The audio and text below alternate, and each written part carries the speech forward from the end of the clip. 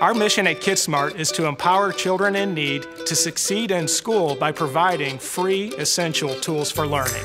We serve 65,000 children in the area. Once a month, the teachers can come out here and pick up school supplies and personalize the learning experience for each student.